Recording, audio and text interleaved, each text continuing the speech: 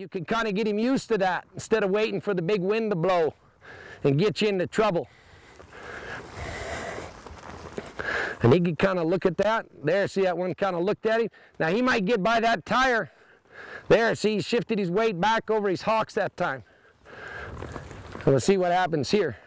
See that tire came into play. There, that's pretty good. You're not trying to do too much. I'm not trying to cut it. I'm just trying to get him so that he'll do something with his feet.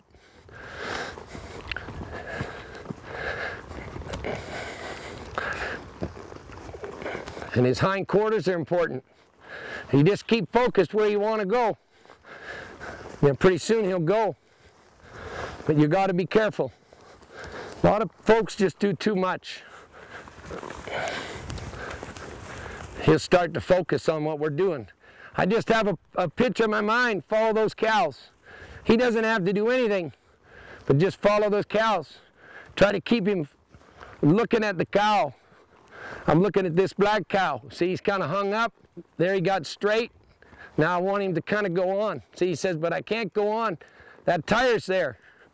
I said, well, you can go around a little bit. See, I wouldn't have made an issue out of it and tried to drive him over that tire he's a little worried about. There, he's going to trot a little. There, that was good.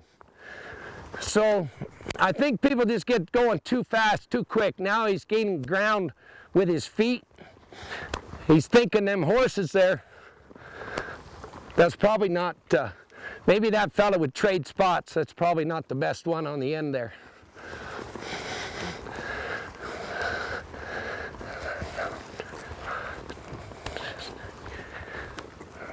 There you go.